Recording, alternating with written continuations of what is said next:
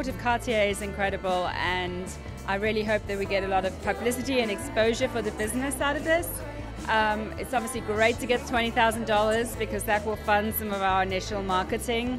Um, and the ongoing net support from a network of entrepreneurs uh, as great as the ones that I've met this week will be brilliant. Being a part of the Cartier initiative is a great experience, so I'd encourage everyone to have a go, um, to submit their ideas.